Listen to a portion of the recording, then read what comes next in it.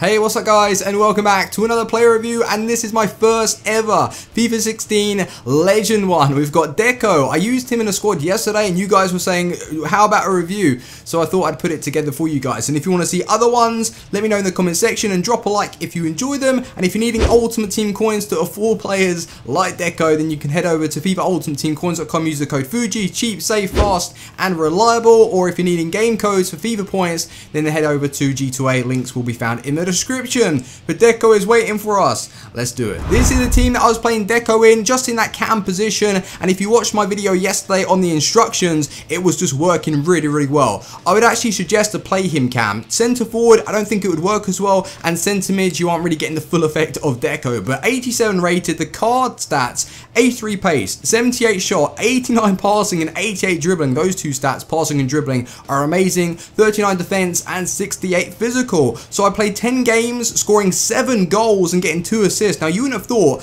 what, 78 shot on his card with 7 goals, that's, that's pretty good going. But his finishing is actually very good inside the box, so keep that in mind. But the stats on his card, he has amazing ball control, he's got really nice short passing, a fantastic link-up player as you would expect. And the strength on, on this card, like I had to check it after the 10 games, 65 strength. Now for a guy who's 5 foot 9, that is damn strong and he does feel um, quite hard to push off the ball in game so I like that. He has got the 4 star skills which makes him uh, fun to use and he's going for around 600,000 coins on obviously on the Xbox there. There aren't any legends on the uh, PlayStation so yeah if you want to pause the video and check his stats but let's get into the clips. Deco for me was an absolute pleasure to play with and that is what you would expect from a 600,000 coin player. Now one thing I am going to say is get out all of the negatives. So first thing obviously it's his height. He's not the tallest, but that's something you can't change. He's a small guy. He was born that way. And secondly, and these are the only negatives, is his shot power.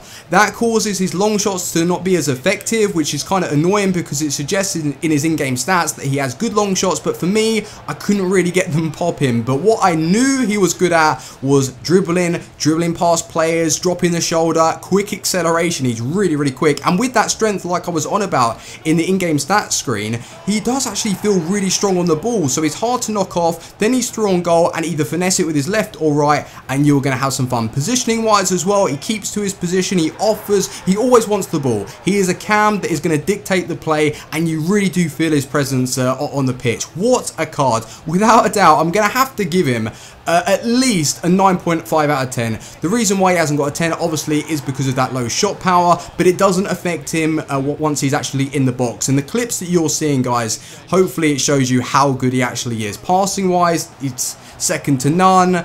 Oh man, Deco, what a card. I'm going to be trying more legends because if they're like this, then whew, I'm in for a treat. But guys, uh, value for coins, I'm going to have to give him an 8 out of 10. Yes, he is good, but 600,000 coins is a lot for any player. So yeah, if you've enjoyed my review, drop a like. Let me know in the comment section any other legends that you'd like me to take a look at. And I will see you on the next video. Team out. Peace.